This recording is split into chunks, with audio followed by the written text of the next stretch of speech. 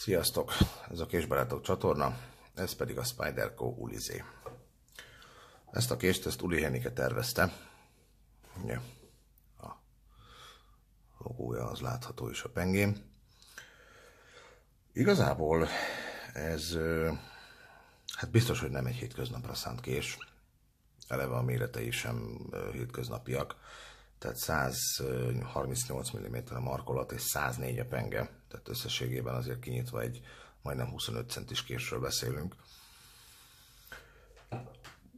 Igazából hát ilyen kecses forma, de, de mégis jól használható, egy, egy gyűjtemény részeként abszolút jó funkcionál, de a hétköznapban is használ, hétköznapokban is használható de ettől függetlenül szerintem nem az a zsebkés, amit az ember feltétlenül magánál hord, de egyébként egy jó használható forma, és egészen exkluzív a megjelenése. A markolat az klasszikus G10, tehát ott igazából semmi extrát nem találunk, ugye belül acéllinerek melevítik a markolatot, négy irányban áthelyezhető klip, van rajta jobb és bal oldalon, ugye hegyfent, hegylent állásban. Viszont a klip az érdekes, mert ugye megvan a zsinórfuratnak a helye, de zsinórfurat az ugye nincs a késen. Úgyhogy hát ez igazából vagy egy tervezési hiba, vagy, vagy direkt így készült, nem tudom.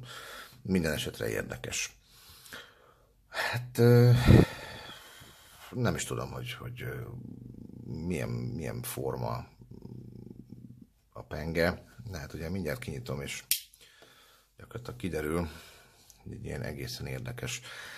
Talán egy ilyen drop point forma, de nagyon el van nyújtva, tehát egy ilyen keskeny nyúlánk penge, és az egész, az egész késnek van egy ilyen, egy ilyen íve.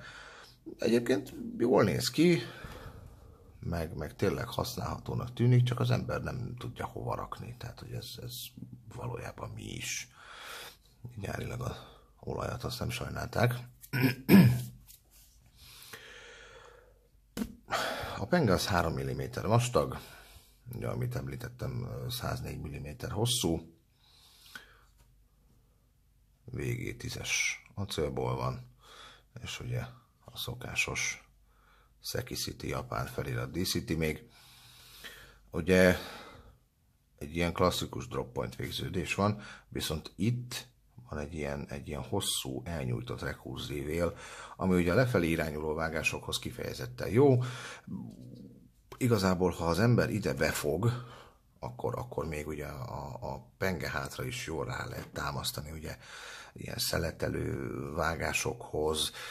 Itt ugye ki van szélesítve a markolatnak a, a vége, tehát nem tud rácsúszni az ember keze a pengére, illetve ugye van itt egy ilyen recézett rész, ami még pluszban meggátolja, de hát ugye nekem nincs kis kezem, és még így is bőven túllóg a markolat rajta.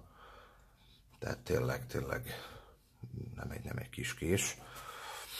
Ugye logback a pengezár, belül pedig ugye könnyített acéllinerek vannak.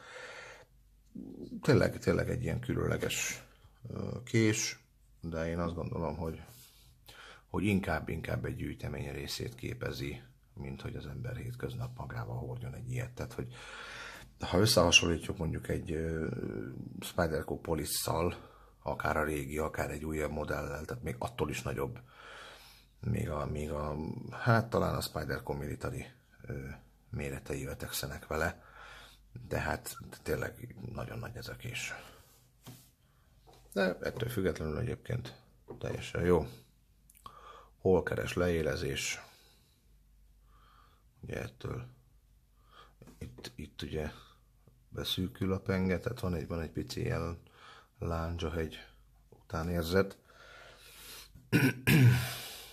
ja, behatoláshoz ugye ez ideális forma.